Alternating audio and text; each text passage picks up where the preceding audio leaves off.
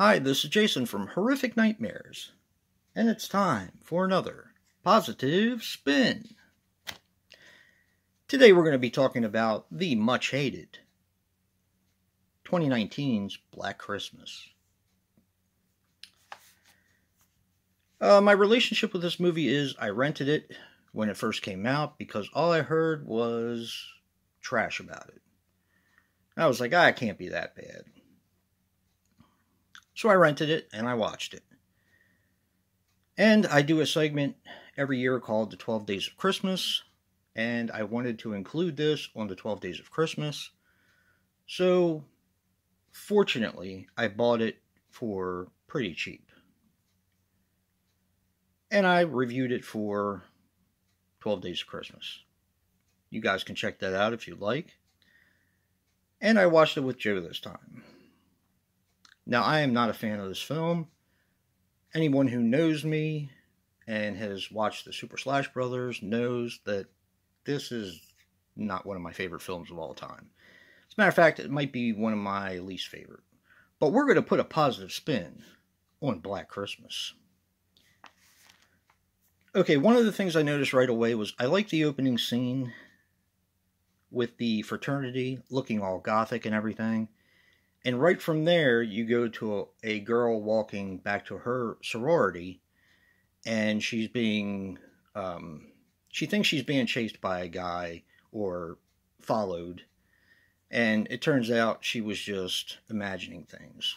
And then she gets killed. And the kills, the kill was really cool because it was like a snow angel kind of kill because he was killing her and she was waving her arms around and it ended up making a snow angel. So I thought that was pretty cool.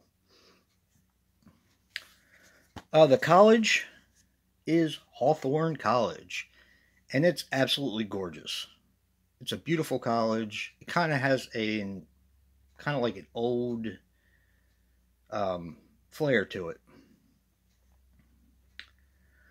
Uh, this has a really good winter feel, and with the lights and the snow and everything, it does feel like Christmas. So, any horror movie that is set at Christmas time, that's genu- generally a plus for me.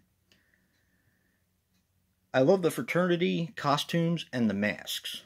Now, the masks apparently were supposed to be Hawthorne, the guy who founded the college, and they wore these black robes. And I thought that was really cool. It, it looked menacing. Um, I love the sorority house. I think the sorority house is absolutely gorgeous.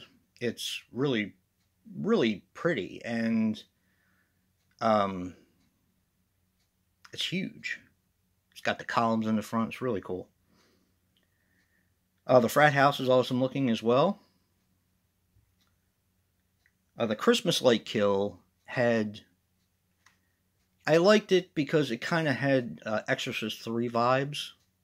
Because it had somebody walking real quick after this girl and kind of strangled her with lights even though it was a cutaway kill.